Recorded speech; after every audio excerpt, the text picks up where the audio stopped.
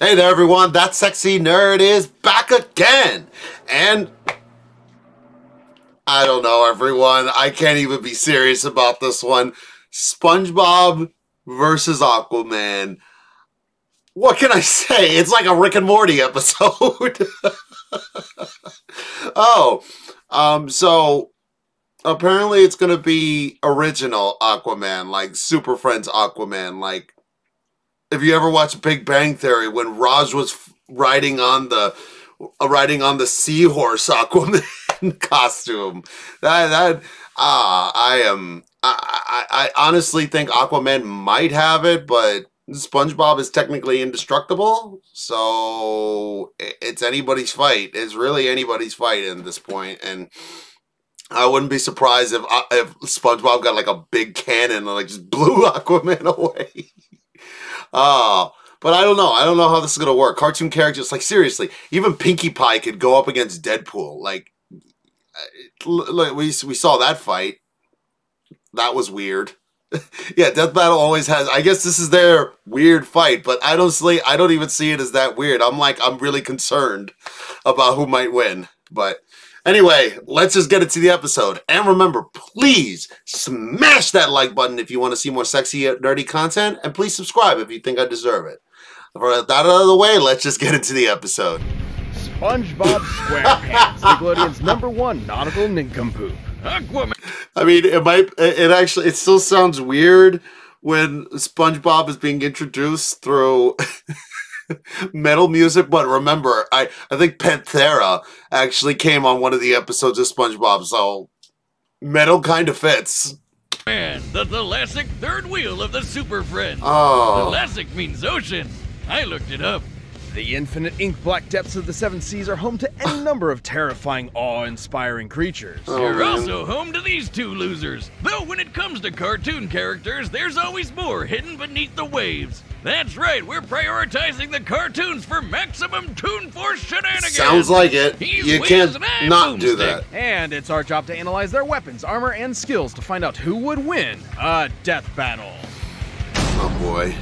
SpongeBob's gonna slaughter The year was 1946. the former allies of World War II were engaged in a Cold War between capitalist West and communist East. The United States changed history forever with the introduction of the atomic bomb, a weapon of unparalleled nuclear devastation. One of their most popular test spots, the site of 23 separate detonations over the course of 12 years for a total fission yield of 42.2 megatons, was Bikini Atoll in the middle of the Pacific Ocean. The results were ecological devastation and perhaps something more. Deep beneath the Who's this SpongeBob? the fauna began to change. They evolved, becoming sentient, forming language, technology, and society. This Bikini Bottom organized into a monarchy under the god King Neptune. It developed a free market economy and a thriving artistic culture. Even the simplest underwater creatures. For the longest time, I thought this was just the origin to Aquaman because I, I think that's when. I mean, I I forgot though because I think that ca- a cartoon came out in the '60s. So, jeez. Became capable of complex thought, including the very first multicellular organism to be categorized as part of the animal kingdom, the sea sponge. SpongeBob. sponge in particular, the greatest among them, lives in a pineapple under the sea. Oh! SpongeBob yeah. SquarePants. No, oh, I wanted to sing the song. Me too. I don't know about greatest. SpongeBob may headline one of the most popular children's cartoons of all time, but he's a total dork. He's a painfully naive. SpongeBob is 36?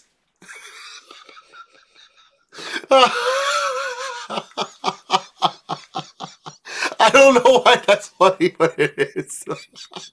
Man-child whose uh, only ambition in life is uh, to continue his minimum wage job 36. as a fry cook at the Krusty Krab. Really sounding like a Squidward there, Wiz. Yeah. And no one wants to be a Squidward. Seriously. Sponge Robert might not have the flashiest life, but he's happy. And that's what matters, ain't it? Not in Death Battle, it doesn't. SpongeBob is routinely physically incapable of even the most basic tasks. Almost like anti-Toon Force. He's the biggest wimp in town, like the time he failed to lift a glass of lemonade, or the time a school bully gave him diarrhea, or the time he effortlessly rotated yeah. the entire planet. Uh-huh, exactly. Huh. Oh, there we're it in is. for some shit now, aren't yes, we? Yes, we are. Despite being a real sea creature, Sponge they've always depicted him as weak, but SpongeBob has actually made like some really crazy ass feats. It's weird. Bob is more like a kitchen sponge. Absorbent and yellow and porous is he after all. He can stretch and shapeshift his body any way he likes, duplicate himself through asexual reproduction, and absorb immense amounts of liquid. Wouldn't he always be full, though? From an entire lagoon to. Oh god. Enough water to replace the moon? What? Oh, and for some reason, he has an insane healing factor. He survived being Yep. torn in half, vaporized, having his soul removed from his body, and literally being unraveled out of existence.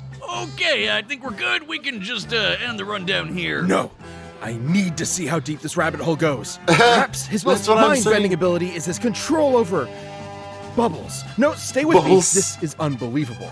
Like a soapy green lantern ring, his bubbles can become anything he wishes, from guided cruise missiles to sentient life and entire bubble societies. That's a pretty similar effect to his magic pencil. Pencil. Oh, you're giving him the anything he wants pencil? That's just not even and erase fair. it from reality just as easily. The pencil That's was not so fair. powerful, SpongeBob Poor sent Aquaman. it back to the surface where it belonged.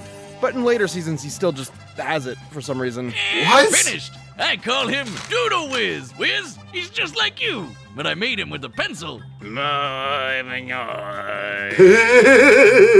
I'm calling the police. yeah, sounds about right. Even the mundane becomes godlike in SpongeBob's yellow hands, like his reef blower, which hoovered up the entirety of Earth's oceans in seconds and then exploded on top of SpongeBob all at once. It's estimated Ugh. the entire mass of Earth's oceans is about 1.5 quintillion Billion tons. tons. Considering all the water refilled the planet in about one second, that'd be a kinetic energy of over 6,000 yottatons. That's enough energy to nuke Jupiter 13 times over. And SpongeBob was completely Completely unharmed. fine. His hydrodynamic spatula isn't just an impromptu bladed weapon, it's also his primary instrument to create the greatest foodstuff Bikini Bottom has ever seen Krabby the Patty. Krabby Patty. A burger so delicious, it's basically magic. Not only is it totally addictive, SpongeBob was romantically attracted to one. It can nullify Wow. mind control, heal wounds, and even detonate. SpongeBob has survived nukes point blank, hugged his best friend Patrick so hard their DNA fused, can ride on the scene transitions, and once cried so hard he flooded Bikini Bottom. Even though it's Already, already underwater. underwater. Shit, he once grabbed a hold of this mysterious string and unraveled the entire universe. What? He literally undid the fabric of reality in seconds. What the fuck? What Yeah. was that you were saying about anti-Toon Force? I'm, I'm sorry. I'm not sure I've ever misjudged a character as severely as I- SpongeBob SquarePants. Nice character arc there, Wiz. Unfortunately for Roberto, the rest of the town only saw the goofy goober on the outside. It took more than one adventure to prove himself to be a real hero.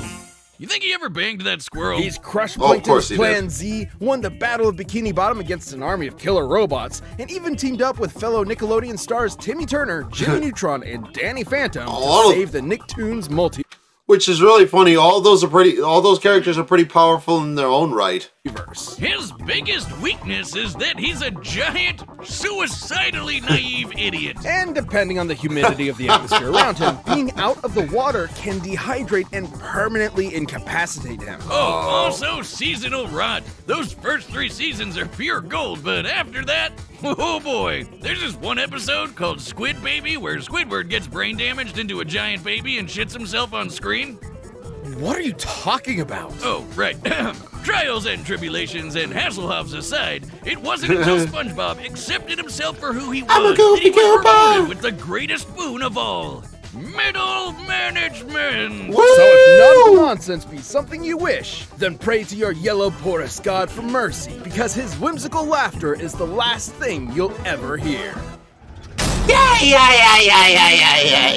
Aquaman, king of the seven seas. We've covered Arthur Curry on the show before, and he's actually secretly awesome. That's right, Boomstick. But the version we're dealing with today is from Is the bargain cartoon. cartoons from the 60s and 70s. Now, you might assume that means this Aquaman is a total loser, but Uh, really, no. have you watched all those cartoons? Remember, Yeah. this is from the era when. Superman was sneezing solar systems apart. Yep. So get ready. Art's origin You're. I don't know if any of you watched my my very first death battle, but it, like that that that whole scene just had me go on a rant just for no reason. It's like the Superboy uh also can also sneeze the planets out of existence. My oh, that's the craziest thing. Imagine what Aquaman can do. And is basically the same as the Silver Age comics. Tom Curry was a humble lighthouse keeper who decided one day to fuck a fish. He did not do Well, he did that. not. He He did not fuck a procreated fish. with Atlanna, an Atlantean from the underwater city of Poseidonis, and from their union, Arthur Curry was born with magnificent aquatic abilities. And he's the king of Atlantis, too. Oh, wait, no. It says here that was introduced in the comics later. Here he's just Really? some guy with magnificent aquatic abilities and a giant mutant seahorse that neighs just like a land horse. This Aquaman comes from a time when everybody who's anybody had their own secret cave with What assorted happened to gadgets. Batman? He's got an underwater jet ski, a net, octopus ink, a water pistol, and a portable heat ray to blast right through solid ice. Not exactly mind blowing, but you know, I'm sure we're ramping up. We sure are. Aquaman's hybrid human Atlantean biology grants him superhuman strength and the ability to breathe underwater indefinitely and withstand the crushing depths of the ocean floor. The pressure at the bottom of the Mariana Trench is 16,000 pounds per square inch. Wow. That's like being stepped on by a hundred elephants. Hmm. Which, which is a lot, I, I guess. Aquaman is also an incredible swimmer, able to travel from Florida to Maine in under an hour. That's Really? almost twice the speed of sound. He Wow. can create water balls and whirlpools out of thin water, and fittingly, water-based attacks are completely ineffective against him. And of course, you can't forget his aquatic telepathy. He can talk to fish, and he can even control people's minds and give them seizures, right? Oh, actually, that second part is also just from the comics. Yeah. Cartoon Aquaman can talk to fish, which is awesome. His telepathy can reach several miles, summon hundreds of sea creatures at once, and works on anything from microscopic organisms to alien life. As long as it's aquatic alien life, of course. But he can still mind control them, right? Kind of. He Yeah. can free them from mind control and even influence their emotional state to some degree, but besides that, there have been times when sea creatures have just ignored his commands outright. Wiz, I'm gonna be straight with Wow. you. You haven't said anything remotely mind blowing yet. Yeah. Does Aquaman actually suck? Hold your seahorses. Kinda does. Aquaman's exploits were so world renowned, he banded together with Earth's mightiest heroes to form a team capable of defending the planet, nay, the universe, from any threat. The Super Friends. The Super Friends. They're like the dime store knockoff version of the Justice League. What? No, no. You've got heavy hitters like Superman, Wonder Woman, and Batman, Mm-hmm. Keep going. Flash, Green Lantern, Uh-huh. Apache Chief, Yeah. Samurai, Black Vulcan, the, the Wonder Twins, yeah. and their pet monkey Gleek. Wiz, stop. You're No. embarrassing yourself. No, wait, his best direct strength feat was when he, uh, moved some trash. About 50 metric tons of See, it. SpongeBob is Uh, the so jokes the write winner. themselves, huh? Fun fact, Aquaman once enrolled in an American college under the name Mr. Waterman. So we're working with a pretty hefty IQ here, huh? Okay, so he's lame and arguably completely lame. I was convinced I'd find some crazy, insane Popeye punching out the animator feet somewhere, but no! He sucks! He actually, actually sucks! His best feat is literally garbage! I'll uh, take over from here, Wiz. Aquaman is a bit of a joke, sure, but he's not completely useless. He's dodged laser beams, defeated a living Titanic by luring it into an iceberg. Seriously, and beaten this water elemental Undine, who looked like a gorilla for some reason, uh, by summoning seagulls to pelt her with clamshells. He once even outswam this Kryptonian pterodactyl monster, Rokan, who flew from the edge of the galaxy to Earth in about 15 seconds. What? Wait, wait, really? Okay, okay, now we're talking. That'd be over 55 billion times the speed of light. And Aquaman swimming clearly outmatched that. It doesn't matter if it looks lame. You get one, buddy. And hey, he could probably kick your ass, person that's watching at home, so Probably. that's something. Well, not if he's on dry land. Uh, if he's out of the water for even one hour, he dies. Never mind, person watching at home, Never just mind. uh, hide for a bit, grab some lunch, and then uh, stomp on his corpse. But is raw power really what makes someone a hero? Or is it the drive to help others, to be of service, to This sacrifice. Aquaman always That's what a hero is to me, and I'd say Aquaman's got as much of that as there are drops of water in the ocean. Oh my He's god. about to die. yeah. Yeah. Yeah, Yeah, he's about to. And we've run the data through all possibility. One. One possibility. It's time for Aquaman's funeral! Oh boy.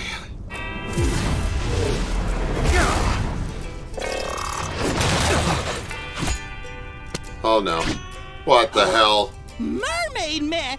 Wait a second, you're not Mermaid Man. The name's Aquaman, evildoer. Evildoer? I'm a Yeah, he hero. sounds good. I saved this city. There's only one real hero here, fiend, and he So yeah, this is basically SpongeBob versus Mermaid Man and Barnacle Boy. is a super friend. You see, sir, I'm a sea Oh. sponge, phylum porifera, and you can't just. Oh, How Okay, about a little karate, Waterman? It's Aquaman. okay. Of course, Cheater. he's a sea creature, and as the king of the seas, he's mine to command.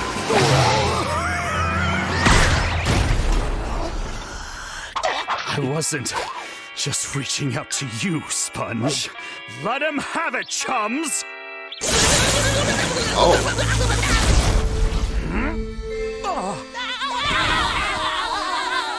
Great Neptune! Get a load of this, Seaman! oh. Damn it, it's Aqua!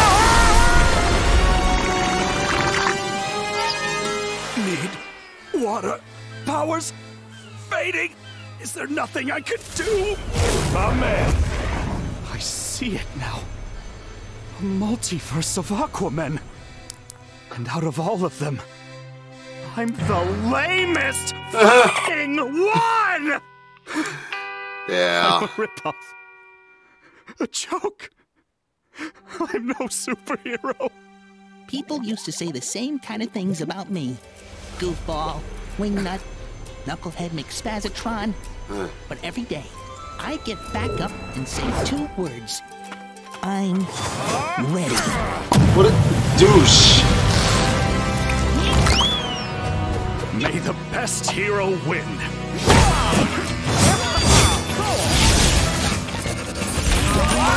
Hey, meoing, meoing. Oh, What? what the hell? Oh, the other side of the universe.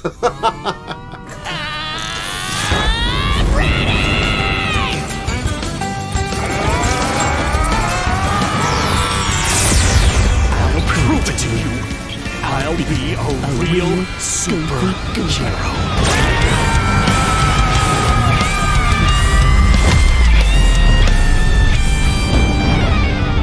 weirdly awesome. It was weirdly awesome. but SpongeBob won. Don't Yeah. cry, Sponge. Let's be super.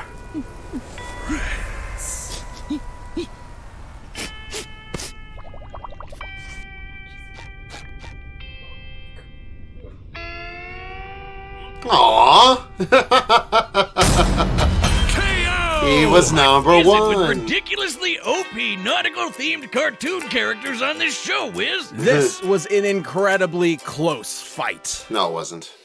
Gotcha! Obviously, Aquaman didn't have a snowball's chance in hell in defeating this little spongy bastich. Where do we even start? With his bubbles and magic pencils, SpongeBob could basically do anything he wanted. There was no way Aquaman wouldn't get totally overwhelmed, especially with his much more limited arsenal. I can't think of a more lopsided matchup than someone whose main attack is throwing water against a sentient sea sponge. Aquaman's only potential option was his telepathy, but as we've covered, it's far less less powerful than his comic counterpart. There's no reason to believe SpongeBob wouldn't just ignore Arthur's commands. That's Even probably if true. it was straight up mind control, SpongeBob's Krabby Patties straight up cancel mind control. And really, nothing Aquaman had could overcome Bob's utterly broken regeneration. The little yellow dude has survived being completely disintegrated into dust and even erased from reality. All Aquaman can do is punch kind of hard, and even that's basically useless against Bob's squishy body. Yeah. Maybe Aquaman could have found a way to dehydrate SpongeBob enough to keep him permanently incapacitated, like when he and Patrick were trapped in Shell City. But that would require the fight to take place out of the water, which messes Aquaman up way harder than it does SpongeBob. and it also require the fight doesn't instantly end up with SpongeBob karate chopping Aquaman at 10 shit zillion times the speed of light, splattering his atoms against Saturn. Cause yeah, remember when SpongeBob unraveled the universe? Oh, yeah. Considering the No, I'm sorry, I need to do this one. This is. Mm. This is fucking insane. Mm-hmm. Compared to SpongeBob's size, the string's width is about 192 micrometers. We can use that to find the volume of, say, one meter of string, and compare that to the volume of the entire observable universe. Whoa! Considering it took SpongeBob about five seconds, he would have had to be pulling at 8.2 times 10 to the 78th power times faster than light. I think we found the most powerful character on Death Battle. that's as many times faster than light as there are atoms in the universe. Jesus. This is the fastest calculable speed feat in our show's history. Yeah. And it belongs to SpongeBob, SpongeBob. SquarePants. but do you think he could take on comic book Aquaman? Yes. You've been listening to anything I've been saying. Good point. Because let's not forget, Of course I didn't forget. that string feat also destroyed the entire universe. And stuff like that is actually consistent. SpongeBob Yeah. is literally aware of the fourth wall and has rewritten the plot of his own story as he's living it. What? Screw the pencil or the bubbles. He can just oh will my God, he's whatever even he better than wants into Deadpool. existence from his imagination. He's a god, a yellow, spongy god, God. of death. And that's why he beats Goku. At least Arthur finally got to be a real hero. And at the end of the day, that's what matters. Yeah, sure, whatever, pal. He's dead. Too bad for the King of the Seas. That sure was one sweet victory. The winner is Is SpongeBob, SpongeBob SquarePants, SquarePants. our god. Mm-hmm. Thank you for. Jason? Versus. Yes! Yes! Oh, hell yes! Oh, God, that got me so excited. Jason versus Michael Myers. Woo! Oh, man. Imagine if they do that in 3D. They got to do that shit in 3D. They just do. Because. Mm, if they if they do that in 3D, uh, they they have to because they're not wildly powerful characters. They're just weirdly indestructible. Um, yeah, seriously, I, can anything kill those two? Like they even blew Jason up, but somebody ate his heart and his soul got transferred into another person's body. What the hell? Jason's won. J- I think Jason won that fight. By the way, I, I think he, he's the winner. But yeah, I don't think because Michael has never really resurrected himself from anything, but Jason has. and he's never gone up against an army. So there's that too. But then what if they uh, and if they incorporate Uber Jason, Michael ain't got a chance. Michael will get sliced up. Even if he is weirdly immortal, he's gonna be ahead. but anyway, I I love that that's my that's my that's my bread and butter. The uh, I love horror uh, horror movies and horror movie icons. That's how this whole nerdy stuff started. Oh man, um, but yeah, I love it. SpongeBob is basically a guy. I had no idea that he had unraveled the universe. Like that was what. So yeah, like we got to put him up against the mask. That's the only person I think could ever stand a chance against SpongeBob. Yeah, not even Darkseid. Not even Darkseid on here. It's like the most powerful characters that we've had on this show. Apocalypse, Darkseid. no, none of those characters can beat uh, SpongeBob. Apparently, poor Aquaman. I, I didn't. St- I, I I'm an idiot for saying that he, he could have stood a chance because I, I remember those cartoons. I was like, yeah, I thought Aquaman was a lot stronger, but I would always defend him too, but I'm like, yeah, yeah, that Aquaman really sucks. Oh boy. But anyway, I'll I'll see you all in the next video. Please like and subscribe if you want to see more sexy and nerdy content. This is a good episode. I I, I ain't gonna lie. And I'll see you all in the next video.